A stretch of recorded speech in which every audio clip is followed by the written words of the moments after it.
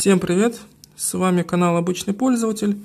И так уж сложилось, что на моем канале последнее время основная тема видео это Linux, операционные системы, программы и прочее.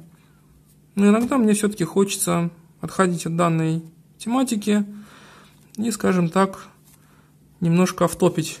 Ну вот пусть так новая рубрика и называется «Автоп». Она будет нерегулярная, и в ней я буду рассказывать о каких-то, может быть, устройствах, еще чем-то. И первый, собственно, выпуск – это вот такой вот интересный, дикий девайс. С первого взгляда может показаться, что это планшет Samsung в таком белом прикольном чехольчике – с клавиатуркой, которая подключается по микро-USB. Но, как говорится, не все так просто. Включаем данную хреновину, по-другому у меня а, нет объяснения, как это назвать. Видим вот такой вот логотип самсунговский. А дальше просто анимацию андроида. Уже как бы понятно, что здесь что-то не то. Пока эта штука грузится, я ее вытащу из чехольчика.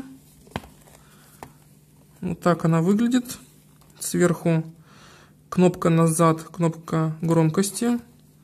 Здесь у нас имеется кнопка питания, под наушники, флешка. Тут где-то даже симка втыкается. Тут сзади даже камера есть. Открываем экран блокировки. И опять же видим, что здесь что-то не то. Наклоняем экран и понимаем, что качество этого экрана совершенно отвратительное. Также видим огромные элементы интерфейса. Старый, явно Android. Причем чистый, которого у Samsung не было. Просто иконочки, видите, изменены. Все это причем еще и подтормаживает периодически. Ну, видим, что это чистый, явно старый Android. Причем с телефонным интерфейсом.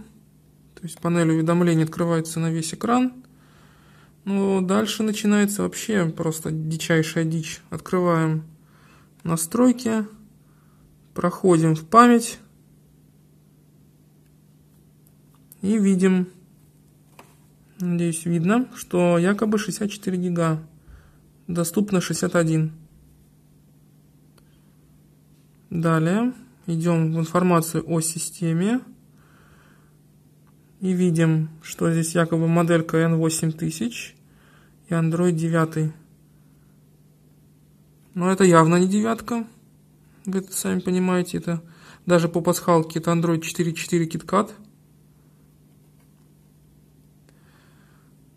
Ну, понятное дело, что это такая вот паленая хреновина из недр китайских подвалов.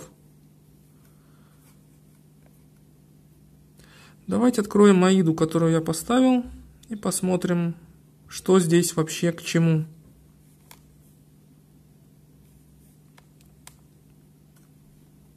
Открываем систему. Видим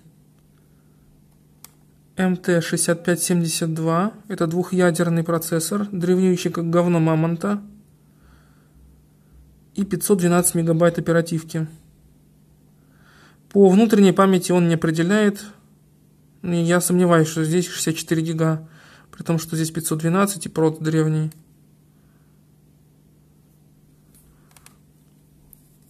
Далее, под ЦПшки.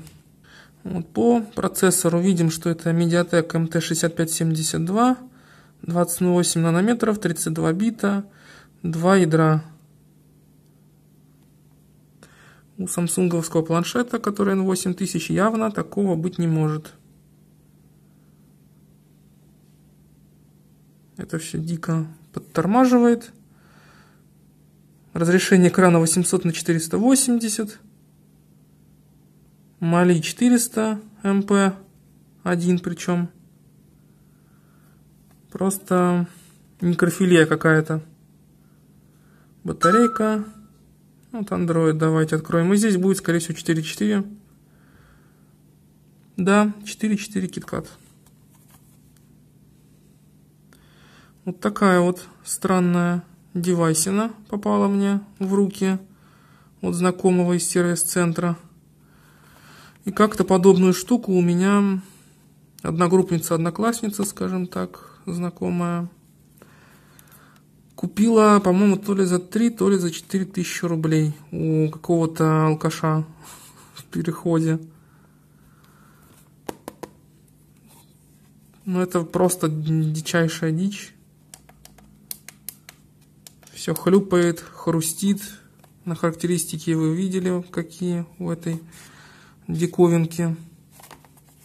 Чехольчик тоже в некоторых местах странный. Во-первых, подключение через вот такую вот висюльку. Во-вторых, кнопки малюсенькие, неудобные, невнятные совершенно.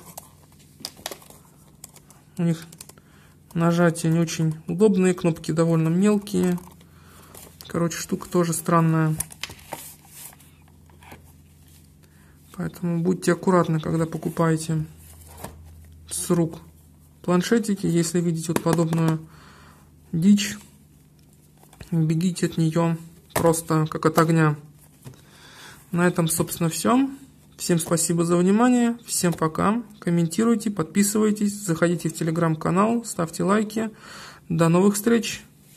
Проект «Обычный пользователь» есть телеграм-канал, в который я периодически выкладываю новости о предстоящих видео, новости, которые меня заинтересовали из мира Linux. Правда, это бывает не особо часто. А также делюсь своими экспериментами с тем, что я тестирую из мира операционных систем на ядре Linux. Заходите, присоединяйтесь, предлагайте свои идеи для видео. Буду всех рад видеть